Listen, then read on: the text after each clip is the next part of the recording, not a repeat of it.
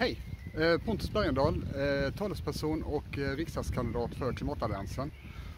Och jag har gått med i Klimatalliansen för att jag är trött på det politiska skyttegravskriget där de bara ger sig på varandra hela tiden. Och eh, vi i Klimatalliansen, vi är oideologiska för att eh, klimathotet och artutrotningen är vetenskapligt till sin grund och existentiellt.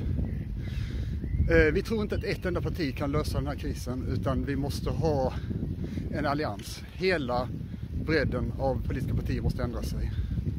Och sist, vi är fullständigt fasen i om vi är kvar till nästa val.